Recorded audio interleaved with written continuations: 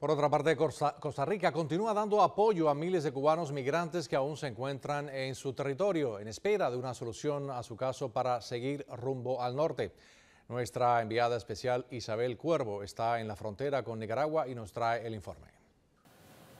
30 grados centígrados, días y días de espera, incertidumbre. El camino al norte permanece cerrado. Sin embargo, el cubano es duro de vencer.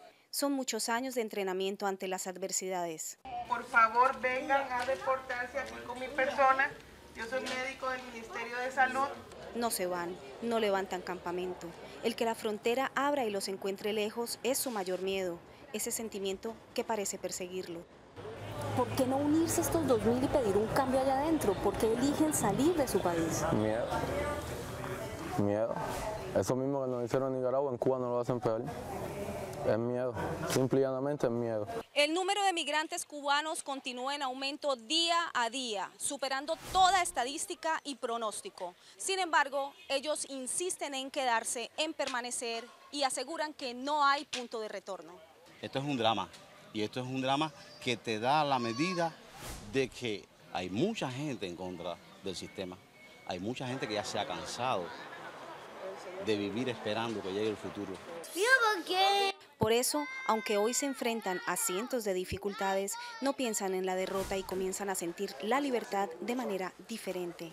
Ser libre en Cuba es un delito y eso creo es algo grave, que el pueblo tenga que vivir bajo una presión.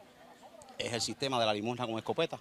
estamos trabajando aquí para tener soluciones en lo humanitario, en la atención, estamos trabajando en lo diplomático.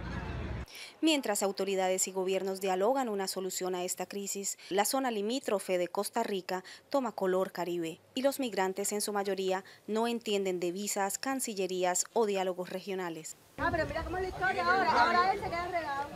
Lavan, cocinan, inventan y resuelven como están acostumbrados a hacer, solo que hoy la esperanza de un futuro diferente los mantiene en pie. Isabel Cuervo Martín Noticias.